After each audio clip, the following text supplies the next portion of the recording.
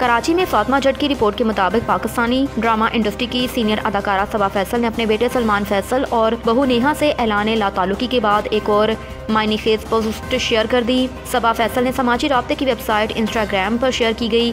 Post में लिखा कि अपनी ज़िंदगी के किसी दिन पर कभी अफसोस ना करना।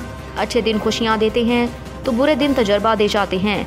बुरे दिन सबक देते हैं और बेहतरीन दिन यादें देते हैं।